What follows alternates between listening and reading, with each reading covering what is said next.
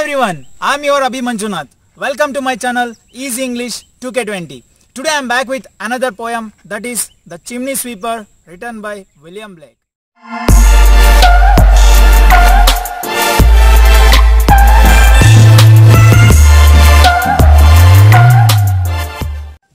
Okay students, today we will read The Chimney Sweeper which was written by William Blake.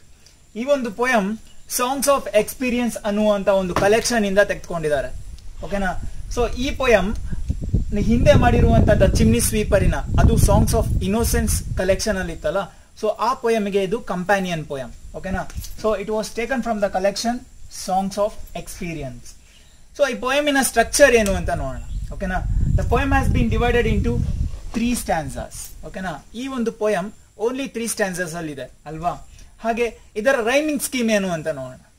The rhyming scheme is A A and B B ಓಕೆನಾ so ಇದರ rhyming scheme A A and B B ಗೊತ್ತಾಯ್ತಲ್ಲ? Okay students let see the first stanza of this poem ಇವಾಗ ಈ ಪೋಯಮಿನ first ಆನ್ಸರ್ದಲ್ಲಿ ಏನಿದೆ ಅಂತ ನೋಡೋಣ. ಓಕೆನಾ so a little black thing a little black thing among the snow ಓಕೆನಾ ಇಲ್ಲಿ ಪೋಯಟ್ ಒಂದು ವಿಷಯ ಹೇಳ್ತಾ ಇದ್ದಾರೆ ಲಿಟಲ್ ಬ್ಲ್ಯಾಕ್ ಥಿಂಗ್ ಓಕೆನಾ ಒಂದು ಲಿಟಲ್ ಬ್ಲ್ಯಾಕ್ ಹಿಂಗು ಸ್ನೋ ಮಧ್ಯೆ ಹೋಗ್ತಾ ಇತ್ತು. ಓಕೆನಾ crying weep weep in notes of woe in notes of woe so ಇಲ್ಲಿ ನೋಡಿ ಫಸ್ಟ್ ಒನ್ನಲ್ಲಿ ಲಿಟಲ್ ಬ್ಲ್ಯಾಕ್ ಥಿಂಗ್ ಅಂತ ಇದೆ. ಫಸ್ಟ್ ಲೈನಲ್ಲಿ ಲಿಟಲ್ ಬ್ಲ್ಯಾಕ್ ಥಿಂಗ್ ಅಂತ ಇದೆ. ಸೊ ಇದರ ಅರ್ಥ, ಇಲ್ಲೊಬ್ಬ chimney sweeper little black thing means little means ಅದು ಯಂಗ್ ಓಕೆನಾ ಯಂಗ್ ಓಕೆನಾ ಅಂದ್ರೆ ಯಂಗ್ ಚಿಮ್ನಿ ಸ್ವೀಪರ್ ಅನ್ನ ಟು ಲಿಟಲ್ ಬ್ಲ್ಯಾಕ್ ಥಿಂಗ್ ಅಂತ ಹೇಳ್ತಾ ಇದ್ದಾರೆ ಓಕೆನಾ? ಸೊ ಇಲ್ಲಿ ಇನ್ನೊಂದೇನಪ್ಪ ಅಂದ್ರೆ crying weep weep in the notes of woe. In the notes of woe means woe ಅಂದ್ರೆ ತುಂಬಾ ದುಃಖ. ಓಕೆನಾ? ಅಥವಾ ಸ್ಯಾಡ್ನೆಸ್ ಸೊ ತುಂಬಾ ದುಃಖದಲ್ಲಿ ಯಾವುದೋ ಒಂದು ಲಿಟಲ್ ಬ್ಲ್ಯಾಕ್ ಥಿಂಗ್ ಹೋಗ್ತಾ ಇದೆ ಅಲ್ಲಿ ಅಂತ, ಅಂದ್ರೆ ಲಿಟಲ್ ಯಂಗ್ ಚಿಮ್ನಿ ಸ್ವೀಪರ್ ಹೋಗ್ತಾ ಇದ್ದ ಅಲ್ಲಿ ಅಂತ ಪೊಯೆಟ್ ಹೇಳ್ತಾ ಇದ್ದಾರೆ ಸೊ ಇಲ್ಲಿ ಗಮನಿಸಬೇಕಾಗಿರೋದು ಏನಪ್ಪ ಅಂತ ಅಂದರೆ ಲಿಟಲ್ ಬ್ಲ್ಯಾಕ್ ಥಿಂಗ್ ಅಂತ ಅಂದಿದ್ದಾರೆ. ವಿಲಿಯಂ ಬ್ಲೇಕಿನ ಸಮಯದಲ್ಲಿ ಆ ಒಂದು ಚೈಲ್ಡ್ ಚೈಲ್ಡ್ ಲೇಬರ್ ಸಿಸ್ಟಮ್ ಇತ್ತಲ್ಲ ಅಲ್ಲಿ ಅವಾಗ ಅವ್ರನ್ನ ಹೆಂಗೆ ಅಂದರೆ ತುಂಬ ಕ್ರೂರವಾಗಿ ನೋಡ್ಕೊಳ್ತಾ ಇದ್ರು. ಅವ್ರನ್ನ ಲೈಕ್ ಅನಿಮಲ್ಸ್ ತರ ಟ್ರೀಟ್ ಮಾಡ್ತಾ ಇದ್ರು. ಸೊ ಹಾಗಾಗಿನೇ ಲಿಟಲ್ ಬ್ಲ್ಯಾಕ್ ಥಿಂಗ್ ಅಂತ ಅಂದಿದ್ದಾರೆ. ಓಕೆನಾ ಬ್ಲ್ಯಾಕ್ ಥಿಂಗ್ ಥಿಂಗ್ ವಸ್ತು ಇಟ್ಸ್ ಅನ್ ಆಬ್ಜೆಕ್ಟ್ ಅನ್ನೋ ತರದಲ್ಲಿ ಲಿಟಲ್ ಬ್ಲ್ಯಾಕ್ ಥಿಂಗ್ ಅಂತ ಹೇಳ್ತಾ ಇದಾರೆ, ಅಲ್ವಾ? ಸೊ ಹಾಗಾಗಿ ಆ ಒಂದು ಕಾಲದಲ್ಲಿ ಆ ಮಕ್ಕಳನ್ನ ಅನಿಮಲ್ಸ್ಗಿಂತ ತುಂಬಾ ಕಡೆಯಾಗಿ ಟ್ರೀಟ್ ಮಾಡಿ ಅವ್ರನ್ನ ತುಂಬಾ ಗೇಯಿಸ್ಕೊಂಡು ಅವ್ರ ಹತ್ರ ತುಂಬಾ ಕೆಲಸ ಮಾಡಿಸ್ಕೊಂಡು ಸೊ ತುಂಬಾ ಕಷ್ಟ ಕೊಡ್ತಾ ಇದ್ರು, ಅಲ್ವಾ? ಸೊ ಈ, ಇದರಿಂದ ಸೊ ಇಲ್ಲಿ ಲಿಟಲ್ ಬ್ಲ್ಯಾಕ್ ಥಿಂಗ್ ಅಂತ ಹೇಳಿದ್ದಾರೆ. ಅದ್ರ ಜೊತೆಗೆ ಅವರು ಆ ಚಿಮ್ನಿಗಳಲ್ಲಿ ಇಳಿದ್ಬಿಟ್ಟು ಆ ಚಿಮ್ನಿನ ಸ್ವೀಪ್ ಮಾಡುವಂತ ಟೈಮಲ್ಲಿ ಕ್ಲೀನ್ ಮಾಡುವಂತ ಟೈಮಲ್ಲಿ ಅವರ ಮೈಗೆ, ಅವರ ಬಟ್ಟೆಗೆ, ಅವರ ಮುಖಕ್ಕೆ, ಹೇರ್ಸಿಗೆಲ್ಲ ಆ ಸೂತಿದಲ್ಲ ಆ ಮಸಿ ಮಸಿ ಅಂಡ್ಕೊಂಡಿರುತ್ತಲ್ಲ ಸೊ ಹಾಗಾಗಿ ಲಿಟಲ್ ಬ್ಲ್ಯಾಕ್ ಥಿಂಗ್ ಅಂತ ಅಂದಿದ್ದಾರೆ. ಇನ್ನೊಂದು ಗಮನಿಸಿ ಇಲ್ಲಿ ಇಲ್ಲಿ ಸ್ನೋ ಸ್ನೋ ಯಾವಾಗಲೂ ವೈಟ್ ಆಗಿರತ್ತಲ್ವಾ ಸೊ ಸ್ನೋ ಮಧ್ಯದಲ್ಲಿ ಬ್ಲ್ಯಾಕ್ ಥಿಂಗ್ ಹೋಗ್ತಾ ಇದೆ ಅಂತ ಅಂದಿದ್ದಾರೆ. ಸೊ ಇಲ್ಲಿ black and white so black and white ಮಾತ್ರ ಇರೋದ್ರಿಂದ ಇನ್ನೊಂದು ಥರದಲ್ಲಿ ನೋಡೋದಂತ ಆದರೆ ಸೊ ಆ ಟೈಪ್ಸಿನ ಚಿಲ್ಡ್ರನಿನ ಲೈಫಲ್ಲಿ ಟೂ ಕಲರ್ಸ್ ಓಕೆನಾ ಅಲ್ಲಿ ಎರಡು ಥರ ಕಲರ್ಸ್ ಮಾತ್ರ ಇರುತ್ತೆ ಬ್ಲ್ಯಾಕ್ ಆ್ಯಂಡ್ ವೈಟ್ ಅವರು ಮಕ್ಕಳಲ್ವಾ?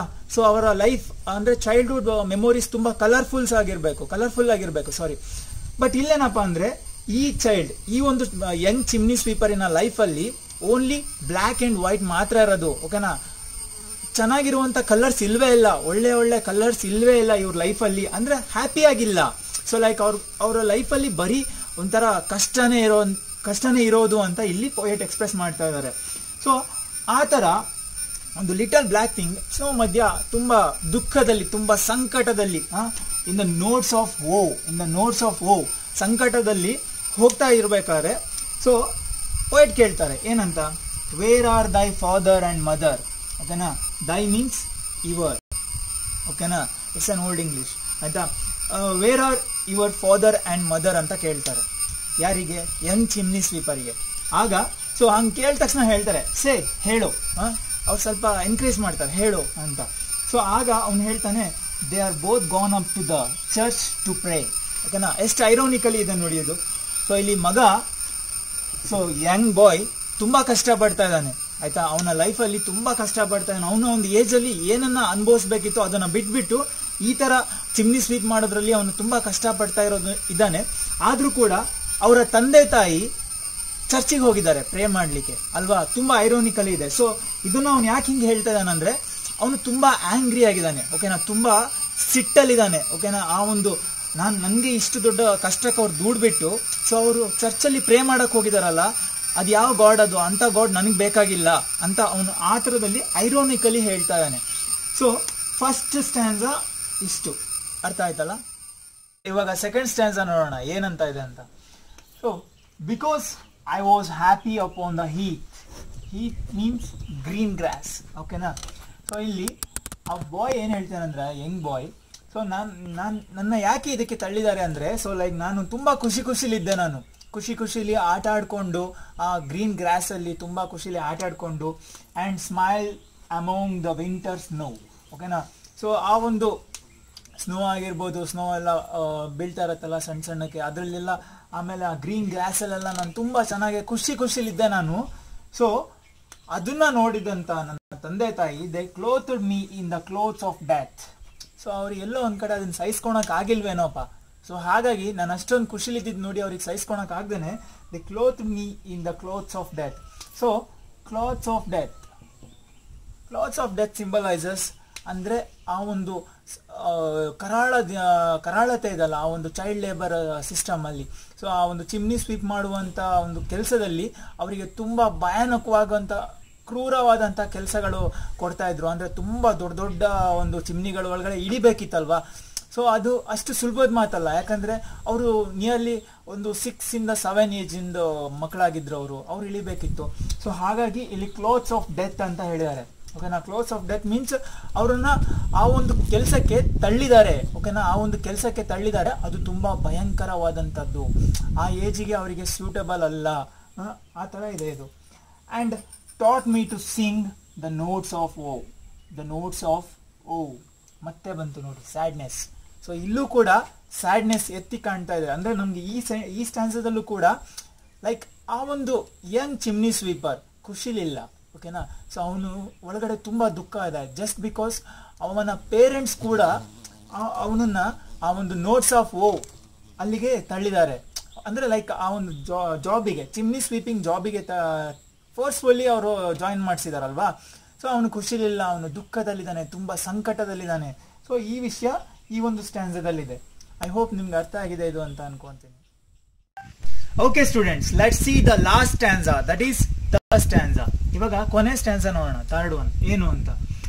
And because I am so happy and because I am happy and sing the think they have done no injury ಓಕೆನಾ ಈ ಹಿಂದಿನ ಸ್ಟ್ಯಾನ್ಸದಲ್ಲಿ ಆ ಒಂದು ಯಂಗ್ ಚಿಮ್ನಿ ಸ್ವೀಪರ್ ಏನು ಹೇಳಿದ್ದ ಅಂದರೆ, ನಾನು ತುಂಬಾ ಖುಷಿಲಿದ್ದೆ. ನಾನು ತುಂಬಾ ಖುಷಿಲಿ, ಗ್ರೀನ್, ಗ್ರೀನರಿ, ಗ್ರಾಸ್ ಲಾನ್ ಅಲ್ಲಿ ಆಗಿರ್ಬೋದು, ಇಲ್ಲ ಸ್ನೋ ಮಧ್ಯೆ ಆಗಿರ್ಬೋದು, ಖುಷಿ ಖುಷಿಲಿ ಆಟಾಡ್ಕೊಂಡು ಚೆನ್ನಾಗಿ ಹ್ಯಾಪಿಯಾಗಿದ್ದೆ ಬಟ್ ಆ ಒಂದು ಟೈಮಲ್ಲಿ ನನ್ನ ಹ್ಯಾಪಿನೆಸ್ಸನ್ನು ತಡ್ಕೊಳಕ್ಕೆ ತಡ್ಕೊಳಕ್ ಆಗದೆ ಇರುವಂತ ನನ್ನ ತಂದೆ ತಾಯಿ ಸೊ ಎಷ್ಟು ವಿಚಿತ್ರ ಇದಲ್ಲ ತಂದೆ ತಾಯಿಗೆ ಅವರ ಮಕ್ಕಳ ಖುಷಿನೇ ಮುಖ್ಯ ಆಗಿರ್ತಿತ್ತು. ಬಟ್ ಆಗಿನ ಟೈಮಲ್ಲಿ ಆ ಒಂದು ಚೈಲ್ಡ್ ಲೇಬರ್ ಸಿಸ್ಟಮ್ಗೆ ನನ್ನನ್ನು ದುಡ್ಬಿಟ್ರು. ಹಾಂ, ನನ್ನ ಖುಷಿ ತಡ್ಕೊಳಕ್ ಆಗ್ದೇನೋ ಏನೋ ಅಪ್ಪ ಅವರಿಗೆ. ದುಡ್ಬಿಟ್ರು ನನ್ನನ್ನ ಆ ಒಂದು ಜಾಬಿಗೆ ಚಿಮ್ನಿ ಸ್ವೀಪ್ ಮಾಡುವಂತ ಜಾಬಿಗೆ ಅಂತ ಹೇಳಿದ್ದ. ಸೊ ಇವಾಗ ಇಲ್ಲಿ ಏನಂದ್ರೆ so and because I am happy and sing ಇರ್ಲಿ, ಇವಾಗ ನಾನು ಖುಷಿ ಖುಷಿಲೇ ಇದ್ದೀನಿ ಓಕೆನಾ ಆ ಒಂದು ಏಜಲ್ಲಿ ಖುಷಿ ಖುಷಿ ಇರಬೇಕಲ್ಲ? ಸೊ ನಾನು ಖುಷಿ ಖುಷಿಲೇ ಇದ್ದೀನಿ ಇವಾಗ. ಈಗಲೂ ಕೂಡ ಆ ಜಾಬ್ ಮಾಡ್ತಾನೆ ಓಕೆನಾ ಸೊ ನನಗೆ ಈ ಒಂದು ಚಿಮ್ನಿ ಸ್ವೀಪಿಂಗ್ ಜಾಬಿಗೆ ತಳ್ಳಿದ್ದಾರೆ. ಆದರೂ ಕೂಡ ಇವಾಗ ಸೊ ಇದು ನನ್ನ ಹಣೆ ಬರ ಅಂತ ಅಂದ್ಕೊಂಡೆ ನಾನು ಅದನ್ನು ಎಕ್ಸ್ಪೆಕ್ಟ್ ಮಾಡ್ಕೊ ಅಕ್ಸೆಪ್ಟ್ ಮಾಡ್ಕೊಂಡೇ ಹೋಗ್ತಾ ಇದ್ದೀನಿ ನಾನು ಓಕೆನಾ ನಾನು ಅದನ್ನು ಅಕ್ಸೆಪ್ಟ್ ಮಾಡ್ಕೊಂಡೆ. ಹೋಗ್ತಾ ಇದ್ದೀನಿ. ನನಗೆ ಅದರಿಂದ ನನಗೆ ಇನ್ನು ಹೊರಗಡೆ ಬರೋದಕ್ಕಾಗಲ್ಲ ಅಂತ ಗೊತ್ತು. ಸೊ ಇವಾಗ ಇದರಲ್ಲೇ ಇಷ್ಟರಲ್ಲೇ ಖುಷಿ ಪಡ್ತಾ ಇದ್ದೀನಿ ನಾನು. ನಾ ಈ ಜಾಬಲ್ಲೇ ಖುಷಿ ಪಡ್ತಾ ಇದ್ದೀನಿ ಅಂತ ಹೇಳಿ ಅವ್ನು ಹೇಳ್ತಾನೆ I am happy and I am singing ಅಂತ ಹೇಳ್ತಾ ಇದ್ದಾನಲ್ವಾ ಸೊ ಇದರಿಂದ ಅವರು, ಅಂದರೆ ನನ್ನ ತಂದೆ ತಾಯಿ ಏನು ಅಂದ್ಕೊಂಡಿದ್ದಾರೆ ಅಂದರೆ ಸೊ ನನಗೆ ಯಾವುದೇ ಥರ ನೋವು ಆಗಿಲ್ಲ, ನನಗೆ ಯಾವುದೇ ಥರ ದುಃಖ ಆಗಿಲ್ಲ ಅಂತ ಅಂದ್ಕೊಂಡಿದ್ದಾರೆ ಯಾಕೆ ಅಂದರೆ just because I am happy and I am singing ಅಂದರೆ ನಾನು ಖುಷಿ ಖುಷಿಲಿದ್ದೀನಿ ಇವಾಗ. ಓಕೆನಾ? ಸೊ ಆ ಪರ್ಪಸ್ಸಿಗೋಸ್ಕರ ಅವ್ರಿಗೆ ಏನಾಗಿದೆ ಅಂದ್ರೆ, ನನಗೆ ಯಾವುದೇ ತರ ದುಃಖ ಇಲ್ಲ, ನನಗೆ ಈ ಜಾಬ್ ಖುಷಿ ಕೊಡ್ತಿದೆ ಅಂತ ಅವ್ರು ಅನ್ಕೊಂಡಿದ್ದಾರೇನೋ ಲೈಕ್ ನನಗೆ ಯಾವುದೇ ತರ ಇಂಜುರಿ ಆಗಿಲ್ಲ, ನಾ ಇದರಿಂದ ತುಂಬಾ ಕಷ್ಟಪಡ್ತಾ ಇಲ್ಲ ಸೊ ಸಫರ್ ಆಗ್ತಿಲ್ಲ ಅಂತ ಅವ್ರಿಗೆ ಅನ್ಸ್ಬಿಟ್ಟಿದೆ ಇವಾಗ. ಯಾಕೆ ಅಂದ್ರೆ just because of my happiness ಅಂತ ಅವನು ಹೇಳ್ತಾನೆ. And they are gone to praise God and his priest and king ಓಕೆನಾ ಸೊ ಇದು ಮೂರು ಇಂಪಾರ್ಟೆಂಟ್ ಸೊ ಹಾಗಾಗಿನೇ ಅವರು ಏನು ಮಾಡಿದಾರೆ ಅಂದ್ರೆ ಗಾಡಿಗೆ ಪ್ರೈಸ್ ಮಾಡ್ಲಿಕ್ಕೆ ಹೋಗಿದ್ದಾರೆ. ಅಂದ್ರೆ ಚರ್ಚಿಗೆ ಪ್ರೇ ಮಾಡ್ಲಿಕ್ಕೆ ಹೋಗಿದ್ದಾರೆ. ಆ್ಯಂಡ್ ಈಸ್ ಪ್ರೀಸ್ಟ್ ಆ ಚರ್ಚಲ್ಲಿರುವಂಥ ಫಾದರ್ ಆಗಿರ್ಬೋದು, ಅಥವಾ ಇನ್ನು ಯಾರು ರಿಲಿಜಿಯಸ್ ಲೀಡರ್ ಆಗಿರ್ಬೋದು, ಅವರಿಗೆ ಪ್ರೈಸ್ ಮಾಡಲಿಕ್ಕೆ ಹೋಗಿದ್ದಾರೆ. ಹಾಗೇನೆ ಕಿಂಗ್, ನಮ್ಮನ್ನ ಆಳ್ತಿರುವಂತ ಕಿಂಗ್ ದಟ್ ಈಸ್ ಗವರ್ನಮೆಂಟ್ ಓಕೆನಾ ಆ ಒಂದು ಗೌರ್ಮೆಂಟ್ ಅಂತ ಇಲ್ಲಿ ಹೇಳ್ತಾ ಇದ್ದಾರೆ. ಸೊ ಇವರನ್ನೆಲ್ಲ ಪ್ರೈಸ್ ಮಾಡ್ಲಿಕ್ಕೆ ಹೋಗಿದ್ದಾರೆ. ನನಗೆ ಇಷ್ಟು ಇಂಜುರಿ ಆಗ್ತಿದೆ ಇಲ್ಲಿ, ಆದ್ರೂ ನಾನು ಅದನ್ನು ಮುಚ್ಚಿಟ್ಕೊಂಡಿದ್ದೀನಿ ಸೊ ಅವ್ರಿಗೆ ನನ್ನ ಇಂಜುರಿ ಕಾಣ್ತಾ ಇಲ್ಲ. ನಾನು ಜಸ್ಟ್ ಖುಷಿಲಿ, ನನ್ನ ನನ್ನ ಒಂದು ಏಜ್ ಇದು. ನಾನು ಖುಷಿಲಿ ಇರುವಂತ ಏಜ್ ಹಾಗಾಗಿ ಆ ಖುಷಿಲಿದ್ದೀನಿ. ಆದರೂ ಕೂಡ ಅವ್ರಿಗೆ ನನ್ನ ಇಂಜುರಿ ನನ್ನ ದುಃಖಗಳು, ನನ್ನ ನೋವುಗಳು ಈ ಕೆಲಸದಲ್ಲಿರುವಂಥ ಕರಾಳತೆ ಗೊತ್ತಾಗ್ತಾ ಇಲ್ಲ ಅವರಿಗೆ ಅದರ ಹೊರತಾಗಿ ಅವರು ಗಾಡನ್ನ ಅವನ ಪ್ರೀಸ್ಟನ್ನ ಓಕೆನಾ ರಿಲಿಜಿಯಸ್ ಲೀಡರ್ನ ಹಾಗೆ ಆ ಕಿಂಗನ್ನ ಪ್ರೈಸ್ ಮಾಡೋದಕ್ಕೆ ಹೋಗಿದ್ದಾರೆ. Who make up heaven of our misery ಓಕೆನಾ ಲೈಕ್ ಇಲ್ಲಿ ಲಾಸ್ಟ್ ಎರಡು ಲೈನಲ್ಲಿ ಆ ಒಂದು ಚಿಮ್ನಿ ಸ್ವೀಪರ್ ಏನು ಹೇಳ್ತಾರೆ ಅಂದರೆ ಸೊ ಇವರು ಗಾಡ್ ಆಗಿರ್ಬೋದು ಪ್ರೀಸ್ಟ್ ಆಗಿರ್ಬೋದು ಕಿಂಗ್ ಆಗಿರ್ಬೋದು, ಅವ್ರುಗಳು ಸೊ ಅವರ ಒಂದು ಹೆವನನ್ನ, ನಮ್ಮ ದುಃಖದಿಂದ ಅವರ ಹೆವನನ್ನ ಮಾಡ್ಕೊಂಡಿದ್ದಾರೆ. ಓಕೆನಾ ಅವರು ಸಂತೋಷದಲ್ಲಿದ್ದಾರೆ. ನಮ್ಮ ದುಃಖನೇ ಅವರಿಗೆ ಒಂಥರ ಹೆವನ್ ಆಗಿ ಹೋಗಿದೆ. ನಮ್ಮ ದುಃಖಗಳು, ನಮಗೆ ಸಂಕಟಗಳು ತುಂಬಾ ಇದಾವೆ ನಮ್ಮಲ್ಲಿ.